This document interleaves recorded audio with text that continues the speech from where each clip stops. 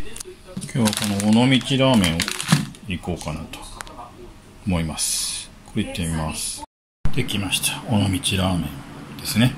醤油ですよね。尾道ラーメンといえばね。で豚バラとかですね。あとまあメンマを。桃屋のメンマですね。とかを入れてみました。これで尾道ラーメン行ってみたいと思います。じゃあ先ほどの本気に行ってみますうんじゃあこの尾道ラーメンですね。これいってみますね。あっさり系ですかね尾道スープうん。これぞ。じゃ醤油っていうような。醤油味ですね。麺ですね。これ油揚げ麺なんですけど。どうなんだインスタントうん。うまい。なんか進化した油揚げ麺。うまいな。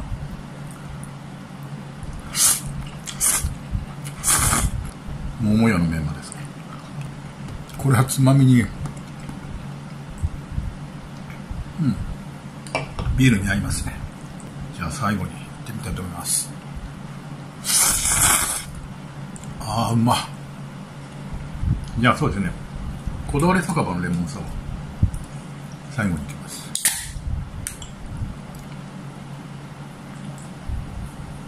おお効くこれ。うまい。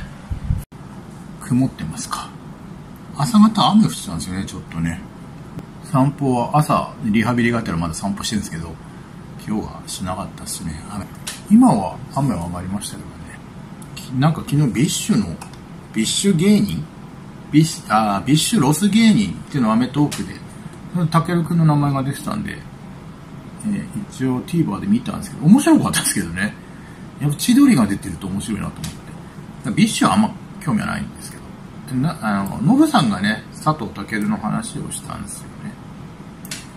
ノブが最後の東京ドームライブは佐藤健君も見に行ってた。クロちゃんに会った時と同じようにどうやったと声をかけたんですがなんと。ノブが見た佐藤健君は別人のようだった。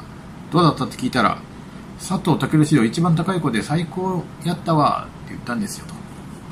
まあその前に言ったクロちゃんはすごいイケメンになってたっていう。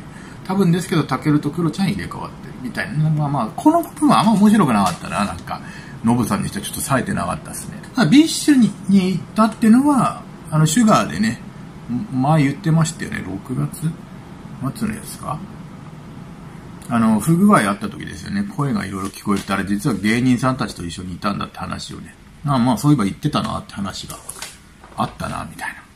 とこでしたけど視聴者さんの LINE を見ますえー、サラさんこんばんは。夜のニュースを見ました。初期の認知症のかなりの効果が期待される治療薬が認可されるという話。希望的ですが、一方では、北極では 氷河や永久凍土が溶けてる怖い現実。これ何でしたっけ？何のニュース？ニュース23なんだっけ？仕事が忙しく、来週はもっと、あ、多分報道ステーションですね、これね。そうね。仕事、現代いろんなことがありすぎます。仕事が忙しく、来週はもっと忙しくなるので、でもライトさんの動画は楽しみの一つなので、これからもぜひ楽しませてくださいね。業界に詳しい方のお話が聞けるなら、当たり障りのない話を聞きたいなと思いますので、ライドさんとの電話対談実現するのを期待しています。ね、ぜひね、やってください。まあ、とりあえず YouTube を通じて、え、言っておきます。その方を見てくれると思いますので。たけるくんも人間ですから完璧ではないですし、しかもまた30代失敗とか当たり前ですよ。私なんかこの年になっても後悔の連続です。たけるくんの良い話は、もちろん聞きたいですが、悪い話もあってもういいよね、人間ですから。人間だものって、何でしたっけ？相田光夫でしたっけ？みつるでしたっけ？相田光夫かな？夏ドラマが次々と終わっていく中で私が最後まで楽しみにしていたのが転職の魔王様です。成田亮君と小芝風花ちゃんです。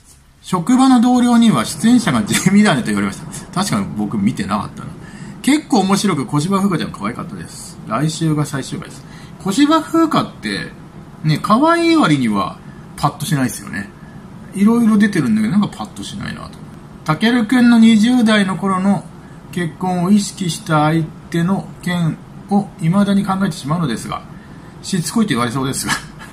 吉岡里帆ちゃんでもなければ、綾瀬はるかちゃんでもないように思えて。